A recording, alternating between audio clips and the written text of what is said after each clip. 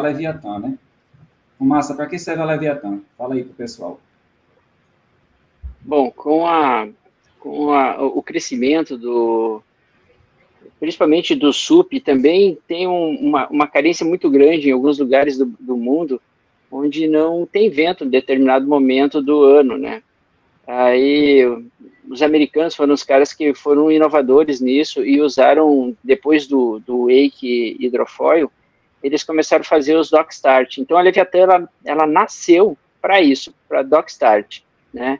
É aquela modalidade que o cara starta de cima de uma superfície, ou até beat start na beira, agora tem bastante gente conseguindo fazer uh, um start da, da praia, sobe em cima da prancha e vai fazendo pump, e, cara, tem gente que faz aí vários quilômetros, né?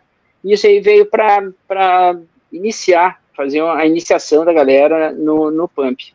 É, Leviathan, basicamente, surgiu para isso. Depois, uh, da 1350 para baixo, se usa bastante em lugares onde venta muito, muito pouco, é, ou pessoas bem, bem pesadas que fazem com vento fraco também, isso auxilia bastante. É uma asa fácil de pampear, é, relativamente fácil de manobrar, abaixo da 1150, é uma asa fácil para manobrar, e realmente ela, ela acaba possibilitando o cara fazer incursões, digamos assim, em rios, mangues, em lugares que não tem vento, o cara, o cara vem pampeando, é, vem, vem no wing, e aí olha um buraco lá, pô, o cara vai lá com quase nada de vento, pampeia, pampeia, entra dentro da região, volta, sai pampeando, procurando o vento e buf, pega o ventinho de novo vai embora. Coisa que com cinco, sete nós o cara consegue brincar legal com essa linha aí. É, eu, eu é, não sei se, se Tissot ou o Lucas tiveram a oportunidade de usar alguma asa dessa. Vocês já, já chegaram a usar, pessoal, alguma, alguma dessas asas? Dessa linha? Já, eu, eu usei, já, eu já usei, já tive uma 1350. Né? E, aí? eu, eu acabei achando ela muito grande para mim, né? Eu não me adaptei para o meu uso, né? Para minha condição de uso. É, acabei é, acabei usando, tentando ela inclusive para surfar, num dia que quase não tinha nem onda. E mesmo assim, cara, eu já dropava assim, a onda ficava em pé na prancha e parecia que tinha uma alguma coisa muito grande assim embaixo, sabe? Então, pro, pro surf, eu não, não me adaptei. Mas é. assim, pra, realmente para esse tipo de uso que o, que o Graziano veio, veio comentando, uma condição de vento fraco, é, para wing, né? Ou para, no, no, caso, um subfoil para fazer um water start, ou um, um dock start, um rock start, né? Esse seria o uso ideal, acredito, para esse tipo de asa. É. Eu tive a oportunidade, quando o Graziano estava aqui é, no, no, ano passado, né? Eu tive a oportunidade de testar 950. É, peguei um dia que a gente foi lá para Maracaípe, aí brinquei um pouquinho numa prancha de downwind na remada. É, pô, eu não tenho muito macete assim, de dar pump, né? Mas eu já vi que a asa tinha essa, esse potencial, pegava, pegava a onda muito fácil, né? E também consegui testar a 1150. É, a gente, no outro dia a gente terminou indo para Itamaracá, fazer o velejo, o estava meio fraco. Aí eu falei, mas é aí, ele, porra, usa 1150 aí que tu vai conseguir. Porra, uma pranchinha de downwind, não lembro o tamanho do wing, eu acho que era um 5.7, alguma coisa assim Caramba, no instante. E realmente, é, pelo tamanho da asa, eu tenho uma 1250. Essa 1150 é bem manobrável. Bem manobrável mesmo. Acho que é, uma... acredito que quem já está acostumado a usar uma asa com bastante área consegue controlar melhor né, a, a é. pressão que ela gera, né? Já está acostumado com, com um pump com uma cadência mais lenta, né? Que acredito que é isso que, que precisa mesmo, é, essa asa Leviatã. É você Show ela tem muito glide, né? É, vamos passar aqui. Ela, na verdade, é, eu vou, vou interromper. Na verdade, ela chega, ela, chega a ela chega a surpreender a facilidade do pump, né? A 1350, apesar dela não ter muita manobrabilidade, não é intenção, na verdade, é andar num drive com uma facilidade para fazer distância, cara, é surpreendente.